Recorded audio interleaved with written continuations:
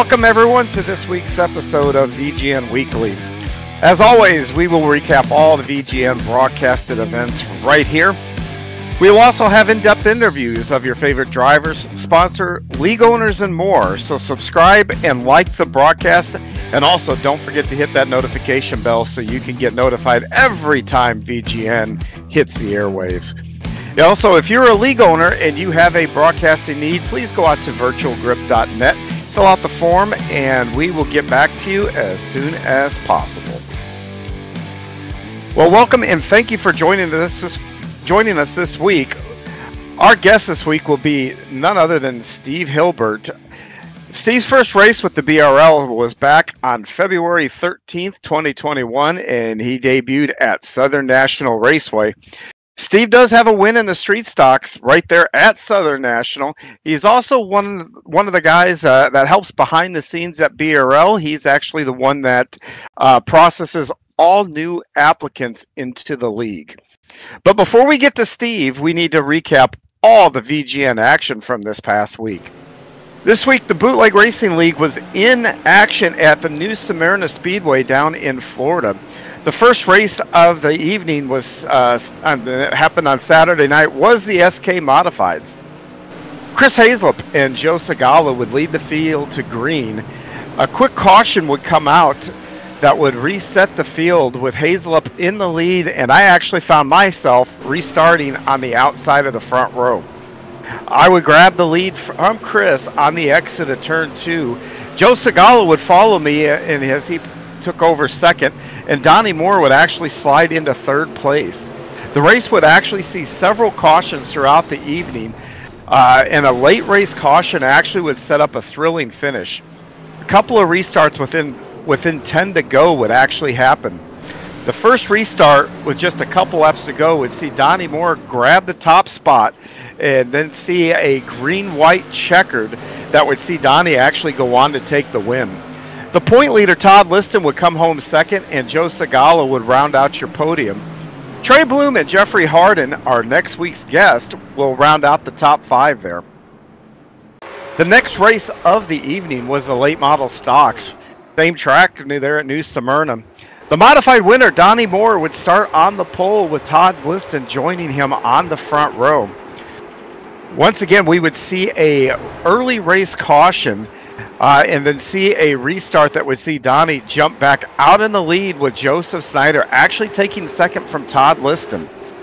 That's how they'd run till about lap 30 when Todd would actually start to really, really press Joe Snyder for that second spot, eventually taking it over and set sail for Donnie.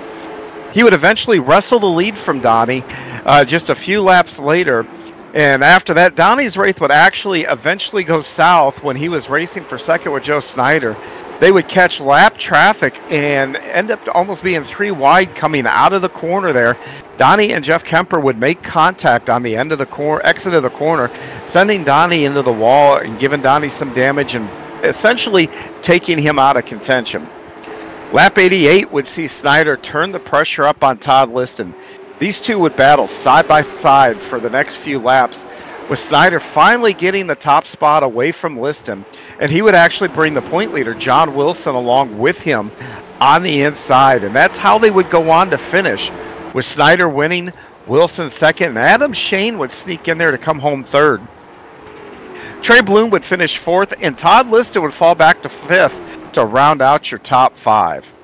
Actually, it was another great racing night of racing from the BRL. I don't know how many races this year for BRL have seen lead changes, whether it be tires, incidents, whatever, within the last 10 laps cautions to to pack it up to give a lot of excitement. This has been a, a, season for the books over in BRL. Make sure you catch them on Saturday nights to see some of this action. You don't want to miss it. Uh, we will preview preview their next race coming up at South Boston this Saturday night, but we'll do that a little later. Next up will be our conversation with Steve Hilbert, but first we need to take a quick timeout.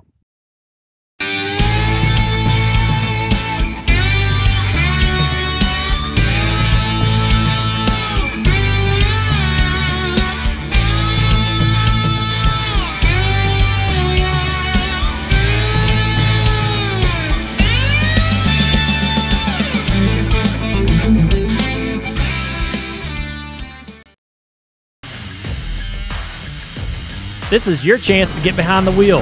The opportunity to race just like the pros. From the grassroots levels, where we all got our start, to the most popular race cars on the planet. From the fairgrounds of Nashville to the high banks of Daytona, to tracks that will never be forgotten. Realistic driving, intense competition, all from the comfort of your own home. This is the ultimate motorsports simulation. This is iRacing.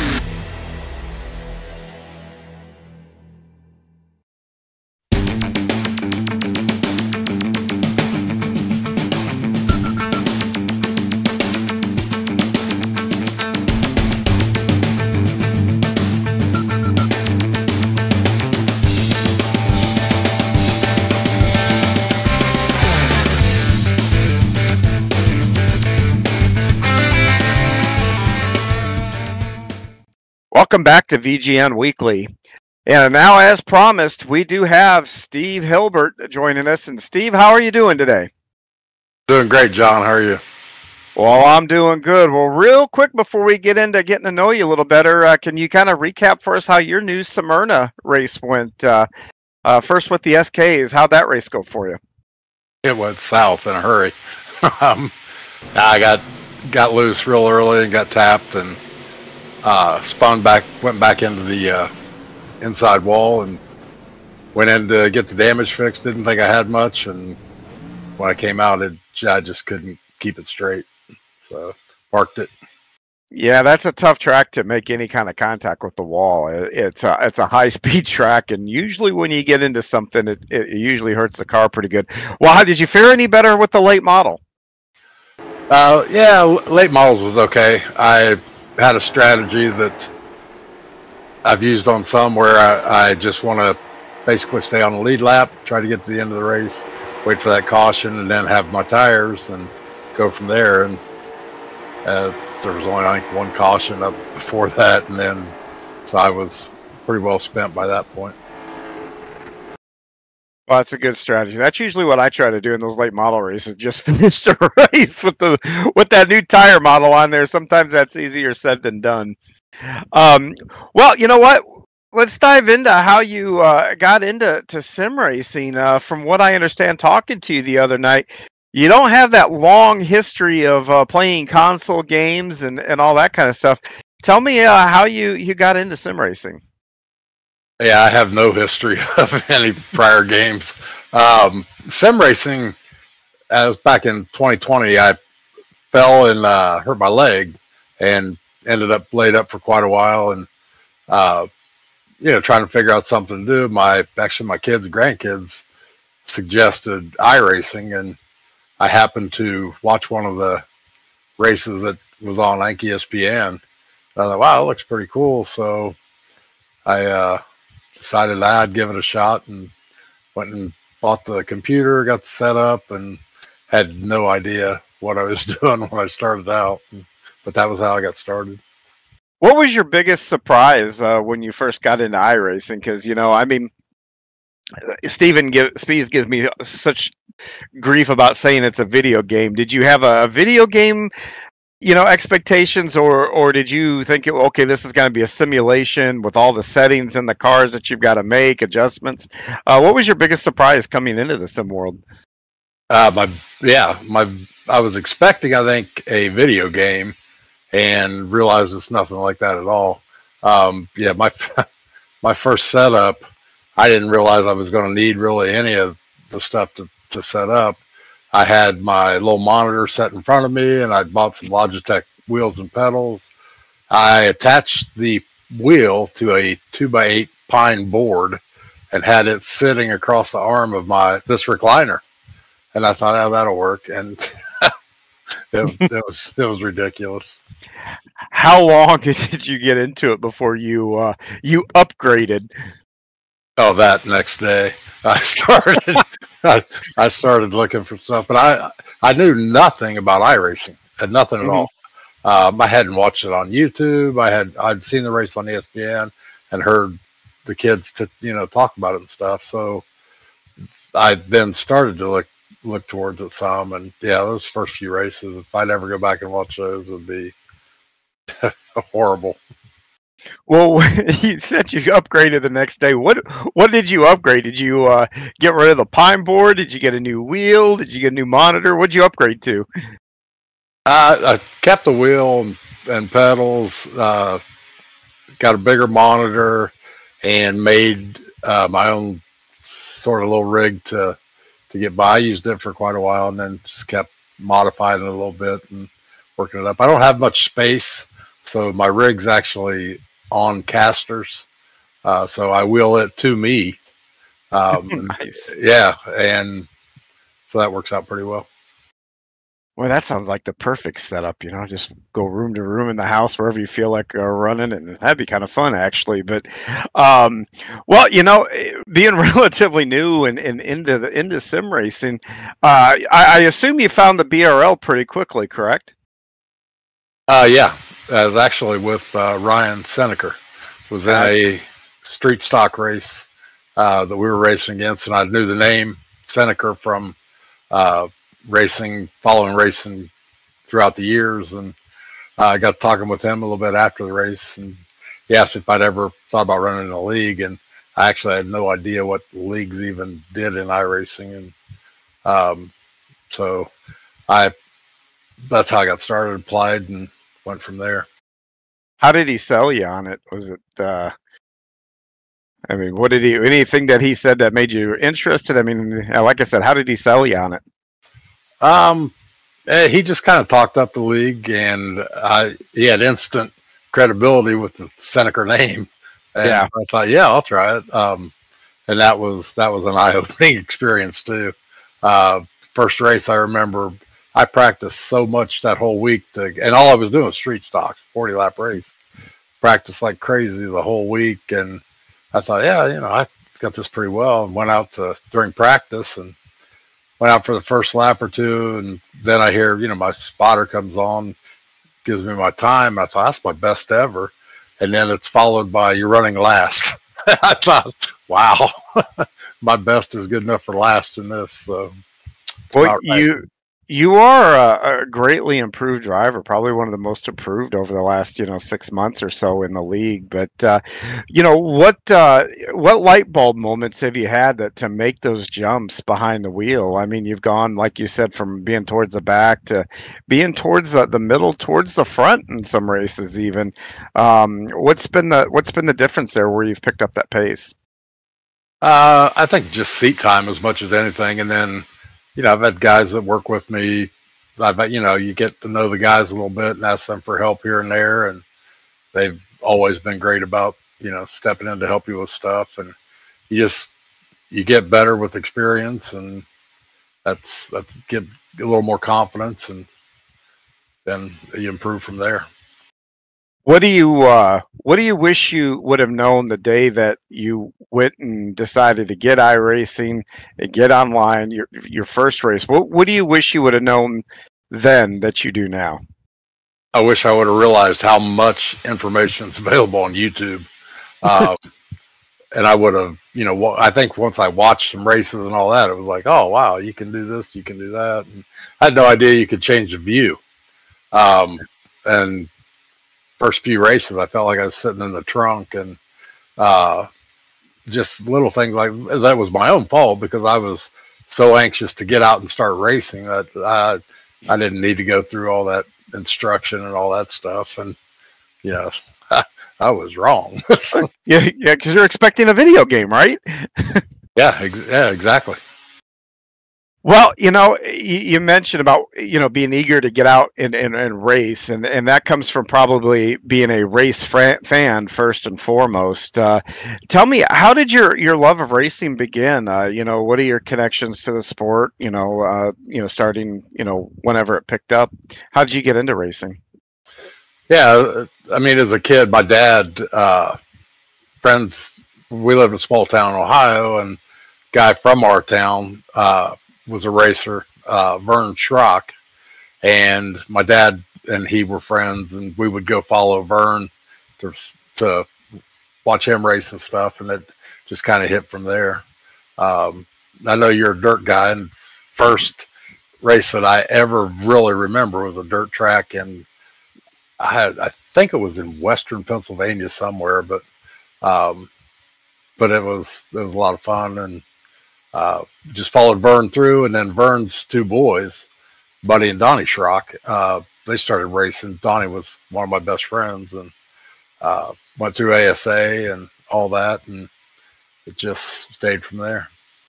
Yeah, you, you speak of the ASA. I have to wonder if you and Ryan didn't cross paths and just didn't know it at somewhere because the Senneker name, for, for those of you that don't know, is, is synonymous with ASA racing. Uh, those were, you know, me growing up and watching the SA, you know, it, it, you know, it was Senneker and, and Mike Eddy and, and Dick Trickle and those guys. So, um, yeah, I have to wonder if you two haven't didn't cross paths somewhere and, and didn't know it.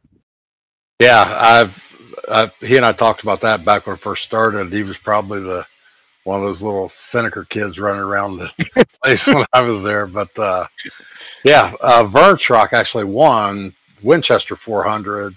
Oh wow! I think the year or so before Bob Senneker started on that streak of five or six Winchester 400s in a row. It was a dry power 400 back then. So yeah, winning a winning a race at Winchester is especially for short track racing. That's like you know if you're an open wheel guy winning at Indy or a Daytona guy or a stock car guy winning at Daytona. Winchester's one of those crown jewel tracks that um, you know if I ever had a victory there, that trophy would be front and center with almost anything else that I would win. Um, how much do you remember from that win? From Vern's win? Yeah. Uh, nothing. I we weren't at that race. Um, oh, okay. Started, but but I remember talking with Donnie about it, uh, and it was you know that was a big thing for them. So, absolutely.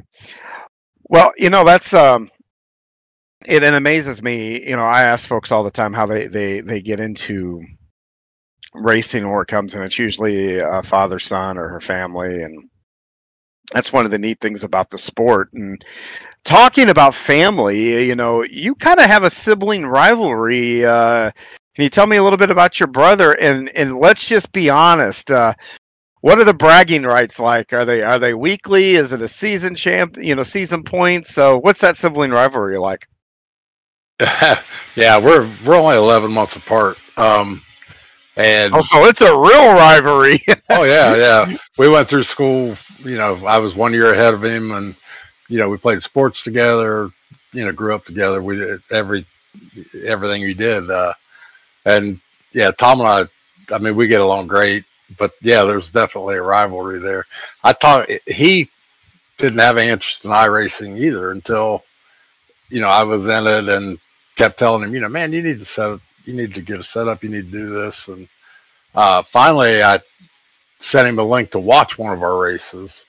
And then I, you know, called afterwards. I said, "What'd you think?" And he's he was just impressed and liked it. Next thing you know, he was, "Hey, I think I'm going to get that." And so he's got he's got a really nice setup. Uh, and he's I'm proud of him, man. He's getting better all the time. Uh, and you know gives us something we have in common we can do and practice in the evenings and stuff and how much uh, trash talk how much trash talking is going on oh a lot yeah yeah yeah uh, any of it carry over to a family event or anything? Yeah, everybody just kind of roll their eyes at you guys. You start talking. They, you know, yeah, you got into me last week, or oh, you beat me last week, you know, or any of that kind of stuff. Do you guys uh, kind of have your own thing that everybody else just kind of you know, uh, has to look at from afar.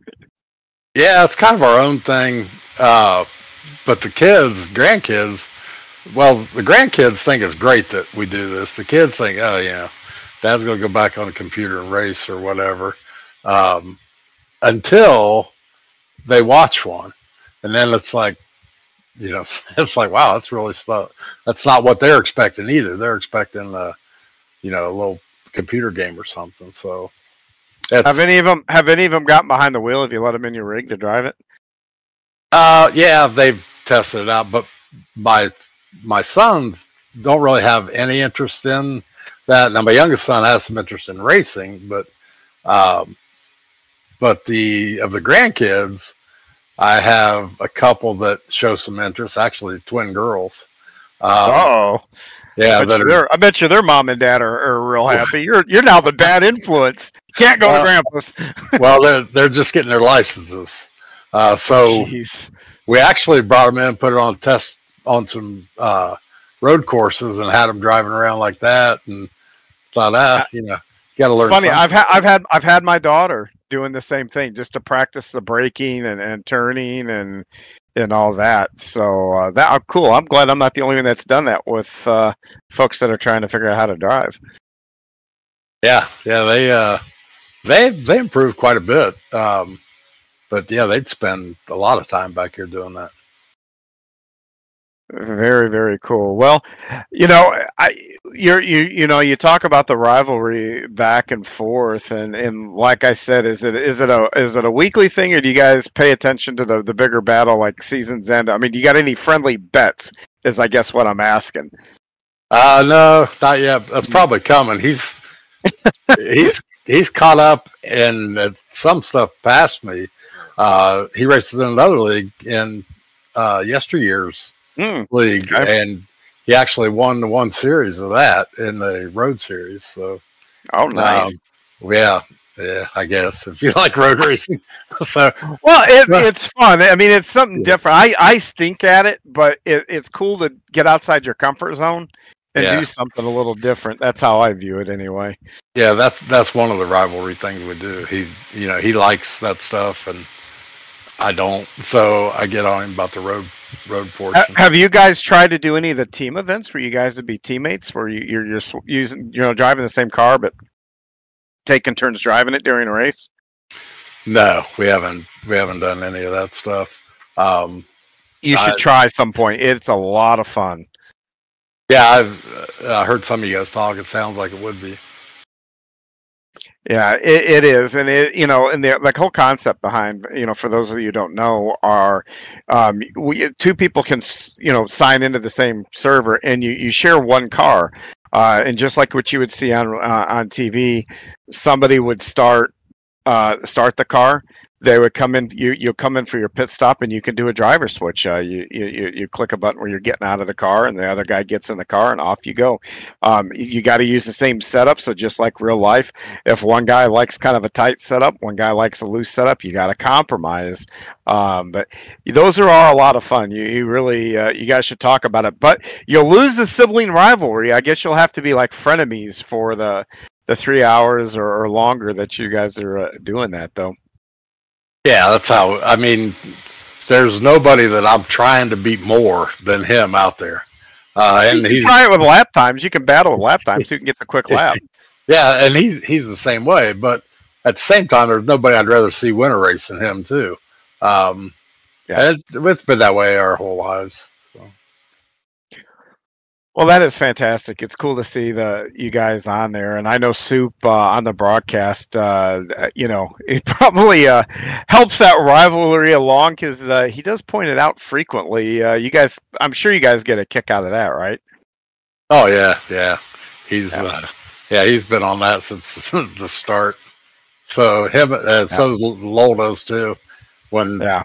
Tom and I end up getting together, and which when they he started was weekly.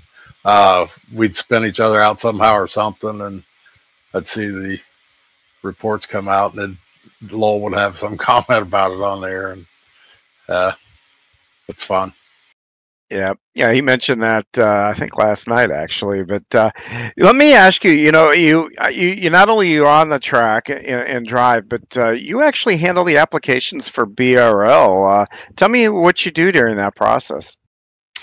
Um, when somebody applies to the league, it comes to me, and I uh, basically got a database of everybody that's ever been in BRL, which is that was another shock. That it's huge. Um, check the database, make sure that they're if they were in BRL before, they're they didn't leave under some kind of bad terms or have any kind of issues with that. And then I'll uh, typically check them through iRacing, see what their stats are, and see how that kind of looks. And if they're going to be let in, then I'll send them a welcome letter and invitation, and go from there. They get a they select a car number, and it's it's I don't know, something I guess to help blow out some. Yeah. So, you know, we keep this here between you and I. So, do you think it would work if uh, all of a sudden I had a, a bunch of dirt guys showing up uh, or uh, applying and saying they're wanting to run like the dirt street stocks? You think what would bring that league back? I, yeah. I don't know what it was with dirt guys when they applied, but I think they they read the first sentence where this is there where they apply, and that was it. Um, there'd be well, you know us dirt guys, we're not the the most sophisticated folks on the planet. Um, we just want to get in the car and go fast. But uh, yeah, it, it's kind of cool that, and you saw the transact uh, transitions, uh, you know, between both the dirt and all that. Um, we're getting ready to to redo now the the street stocks, open invitations back up for the street stocks. Um, what has that been like? We've been getting a lot of applications in for that? Uh, not a lot yet. We've gotten a few. Um, I mean, we'll have a enough to have good car counts, but not, we haven't gotten a ton of them yet. Um, but that's I look for once it gets going, then we'll get quite a few after that. Absolutely. Well, thank you for your help. I guess I should say first of all in the league, because that that does mean that you're one of the guys that kind of makes this league what it is, and it is one of one of the best uh, run leagues here, and, and, you're a part of that. So thank you. Um, I'm sure I can speak on uh, most everybody in the league. Uh, that you know, thank you for uh, helping out with that. Sure, it's. Uh, I don't know. I don't feel like I do that much, but I guess when you're dealing with you all do. the stuff he does, that's. I think anything helps. So. Yeah, his biggest job is probably dealing with me. I'm always uh, pestering about something or another, some crazy idea. So uh, it's all downhill after he gets done with me, I guess. But um, well, let me uh, let, us move on now to a little bit about you. Um, so where are you from, and, and and originally, and where are you located now? I'm in Plain City. It's a little yep. town west of Columbus. Uh, where I was born and raised and went to school and my I think it's third or fourth generation that are from here, and nice. um, yeah, and that's where I'm at now. Well, you know, eh, you know, anybody that's watched a, a BRL broadcast knows that you've had a, a, an interesting job. I know that you are retired now, but you're a police chief, correct? Correct. Well, tell me a little about that that, that job. Uh, you know, were you a state trooper? Were you, you know, in the sheriff's office? Were you local? Uh, tell me a little bit about uh, your your journey through the police force. Yeah, I uh, started as a state trooper, and it's I don't know that was a little different than how everybody else did too. I um, I was never that kid sitting in third grade. Oh, I want to be a policeman when I grow up. I want to. I, I had no thoughts at all of ever being in police work. Um, but I graduated from high school and didn't want to go to college, just wanted to get a job and go on with life. Um, so actually, my father and and my uncle and grandfather owned a filling station in our town that they had sold the business out a year or so before, and I'd worked there off and on my whole life for dad and them. And uh, the guy that had it wasn't doing great, and had decided he was going to sell it. So I was only 17 when I graduated and turned 18. And I thought, you know what, I'd, I'd like to buy that. So I walked up to the bank and talked to the banker, and he said he would loan me the money. And went down to dad, told him I wanted to buy the station. I had the money, and um, so he owned the building. I owned the business for three or four years, and turned 21. I was just kind of getting bored with it. And he walked in one day and he says, You know, you seem miserable. He says, Working in here. He says, What do you want to do? And I said, I don't know. I said, I always thought being a state trooper would be kind of cool. He said, Then you need to go home, shower, and go apply. And I did. And then became a, troop, a trooper and got stationed over north of Dayton for first seven or eight years and then transferred to a couple other posts, and then eventually settled into crash reconstruction analysis. And oh wow, did that. Well, when you talk about crash construction and all that, uh, what kind of training? I've always, I mean, that's a that's a really hard job to do because there's so many things that can come into play. Uh, you almost like you're you're solving a, a Rubik's cube, uh, probably every time you go into one of those. What kind of training did you go through for that? Oh, uh, we went through a ton. Uh, Institute of Police Technology in Florida, we took a lot of the specialty courses and crash reconstruction courses there. Um, took some through Northwestern, um, and then just through doing it and some of the computer courses. And yeah, we were we were kind of at the forefront of a lot of the stuff. We did forensic animations back, you know, when I was in the late '80s when I was doing that stuff in early 90s uh, and nobody was doing that stuff yet. Uh, and that kind of that as the technology evolved we kind of evolved with that. Um, i tell people i remember when we our crash reconstruction analysis unit got new computers. We got these things called a pentium so that was everybody was just you know dying to see. That we had people that would come in to see you know our computers and I look at it now and it's it's nothing at all compared to what's out today. So today's stuff is so far beyond it's it's amazing. Do you think that new technology's just made it uh, easier to kind of reconstruct, or do you think it's also made it more accurate? Is it both, or is it just uh, just kind of made it easier and and easier to process that stuff?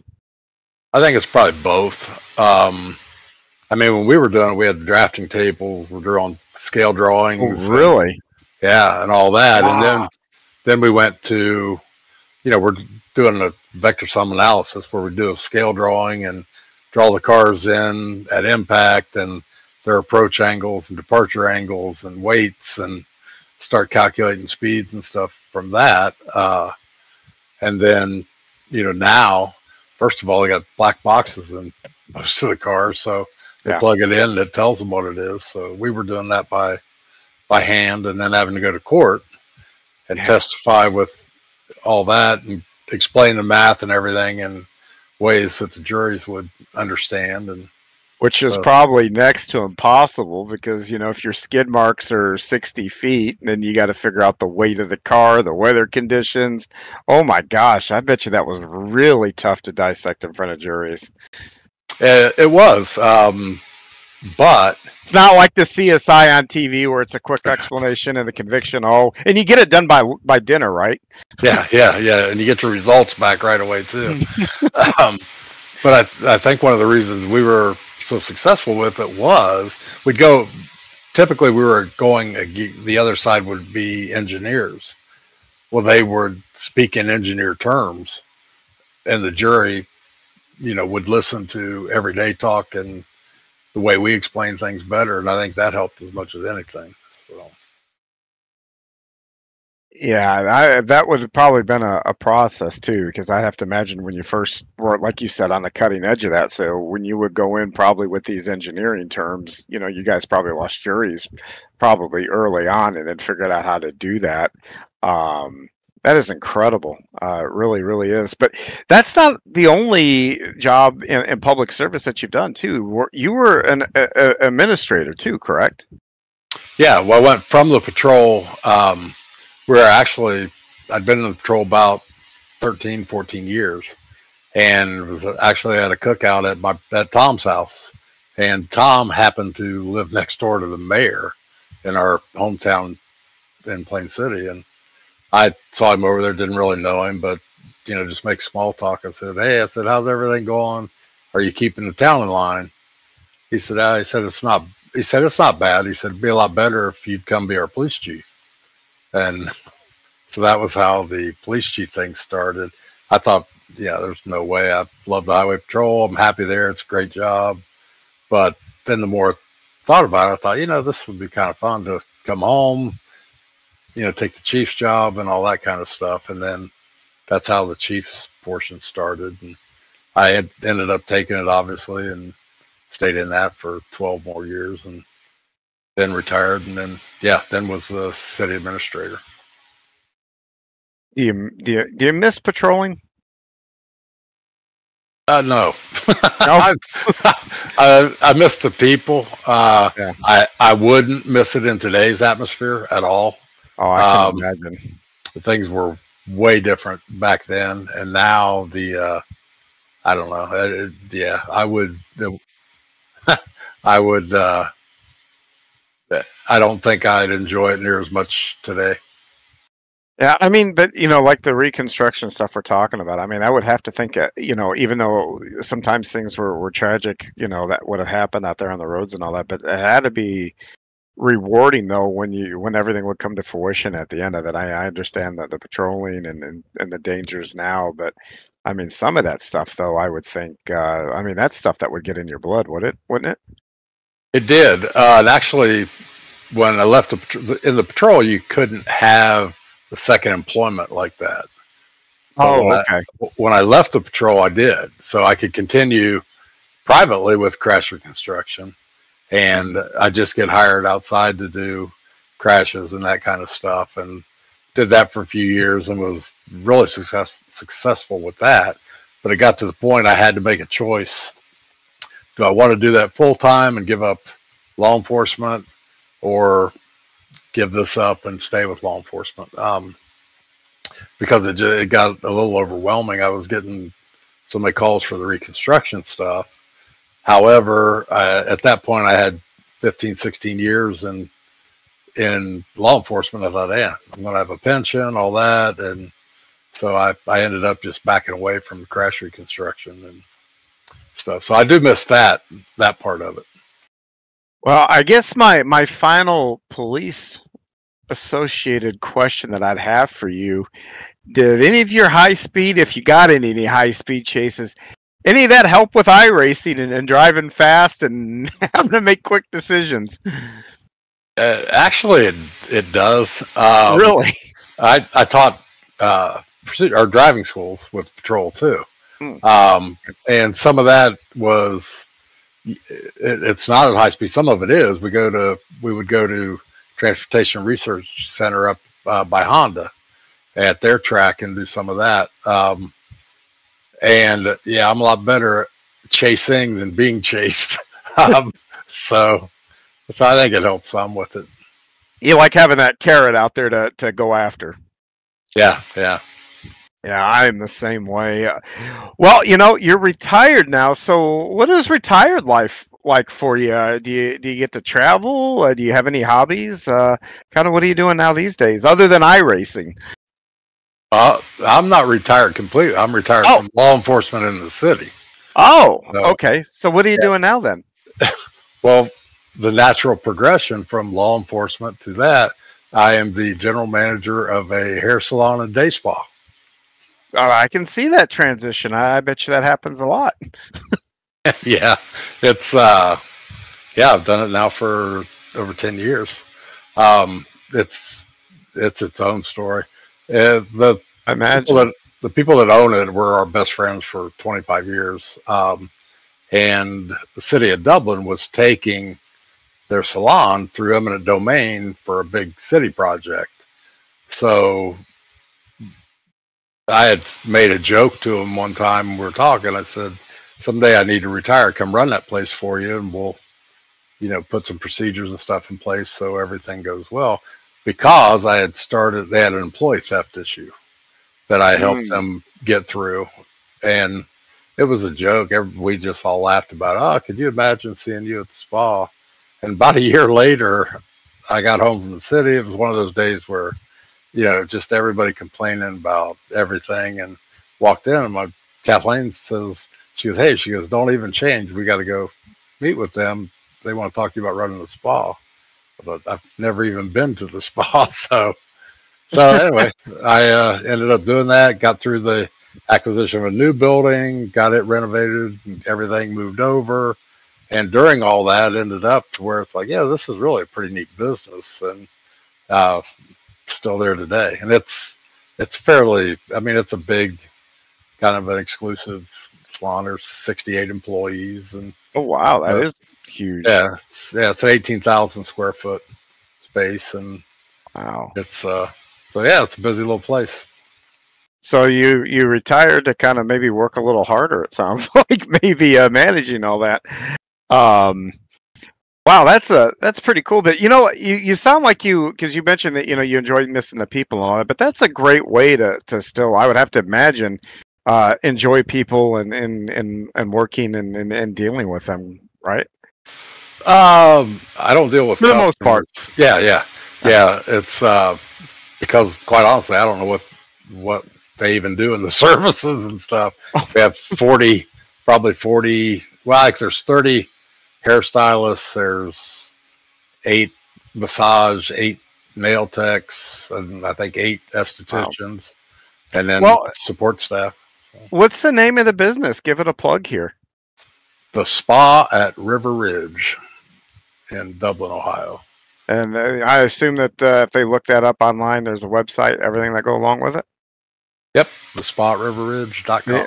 Anybody that's around the Columbus area, go check that out, and, and tell them Steve sent you. Yeah, that'd be great. Well, very cool. I, I've gotten uh, to know you a little bit. Now, uh, I guess the next part of the interview here, let's see if I can uh, tweak you a little bit. We're going to do that word association here. So, you ready for that? All right. All right. First one's going to be Buckeyes, Ah, Champions. Wolverines, um, not champions again. and if the feed cuts, it's because Ryan's head just exploded. Um, and uh, how about the Reds or the Bengals? Oh, that's back to the civil sibling rivalry. Tom's a Bengals guy. I'm a Browns guy. So Oh, uh, yeah, how did you become a Browns? The Browns are like on the other side of the state. yeah, yeah. But the Browns were around more when I was a little kid. You Yeah, know, Le- that's. Leroy Kelly, Jim Brown, those guys. The Bengals came along later, and Tom, of course, became a Bengals guy. So I got to give him static about that. So, but yeah, I'm Browns, Browns, Indians. I, I like the Indians and the Reds. So I just I like baseball all around. Okay. Well, how about being the police chief or being the or the, the Illinois the state tro- the Illinois the, the state trooper or the administrative job? Which one do you like better? Oh, I like the trooper police chief better. The administrators, it's yeah, but that's just too much of everything.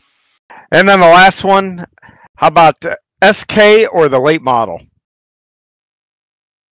Uh, depends on the track. Late model overall. Well, late model, that's a good choice. That'd be my choice too. Um, well, you know what, Steve, it has been a, a pleasure talking to you and all that here. We'll kind of wrap the, the interview up with that. Uh, thank you so much for your time. Oh, thank you. I, I really enjoyed it. You guys do a great job. Well, thank you very much. Well, you know, we got one thing to do yet before uh, we, we we move on, though. We do have to talk about uh, the you know what's coming up on VGN this week, and uh, I know the the Bootleg Racing League is going to head to South Boston, one of the the original tracks in iRacing, I think. Uh, um, first, you know, what's your first thoughts when when you hear the word South Boston? Ugh. well, you got it last time we were there. Do you, I don't know if you remember, but you got a top five in the late model. Yeah, yeah. It's uh, yeah. Sobo's. Uh, it's one that I've worked a lot at, um, and it's two lanes. You can usually get you know two lines going. Um, so I'm cautiously optimistic that we'll do okay there. Um, it's it. I've had good finishes. Don't enjoy the track a whole lot, but uh, I think probably because I end up practicing there more because you know it's not one that I feel super comfortable at. Well, Donnie Moore leads all active uh, drivers in the SK. He's got four wins there, including the last time BRL was there. Several drivers, though, on the, the late model side are, are tied uh, with just one win. Matt Hoos uh, won last season's uh, race there. Donnie Moore was second, so I think Donnie's going to be tough there. And there's a, a lot of guys, too, including me. I got to promote myself for a minute. Uh, that have wins in the SK there. Um, you know, you, you talk about the practice. what do you what do you find to be the one of the challenges about getting around there? Uh, throttle control coming out of the corners. Um, and to to me, as I remember it, the SK and the late model seem completely. You can practice one on that track, doesn't really help you with the other one on that track. Uh, they're completely different there. Yeah, I will agree, and it's a it's you know it's a pretty narrow track and everything else. You get offline just a little bit, and you can you can sink in a quick hurry there. So, um, yeah, that's where we're going to be headed uh, this week. Uh, you can uh, tune in Saturday night. Uh, first up will be the SKs, then they'll be followed by the the late models. Um, but uh, you know what? Well, that'll uh, kind of wrap our show up here this week. Uh, first of all, I want to thank everybody for for watching and uh, tuning in once again. Next week, like I, I said, Jeff Harden will be our guest. Uh, once again, uh, thank you for tuning in, and remember remember to give us a like, a subscribe, and also click the notification bell uh, so you are notified every time VGN takes the airways. I want to thank once again Steve uh, for you for joining us uh, here this week, and uh, hopefully we get to talk to you again here up in the upcoming months. We can touch on maybe a little bit more of the, the Browns and, and, and Bengal rivalry among some other things. All right, thanks. I appreciate it. Thanks for having me. And also, remember, if you have a broadcasting need, please go to virtualgrip.net, fill out the form, and we can get back to you. And once again, thank you for, for joining us, and we'll see you next week right here on Virtual Grip Weekly.